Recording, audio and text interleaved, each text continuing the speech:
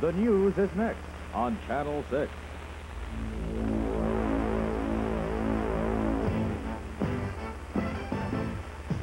This is the Channel 6 News Update with Cecile Burandt, Albert Zipp, Greg Bostwick with weather, and Brian Jensen with sports. Good evening, everyone. Thank you for joining us tonight.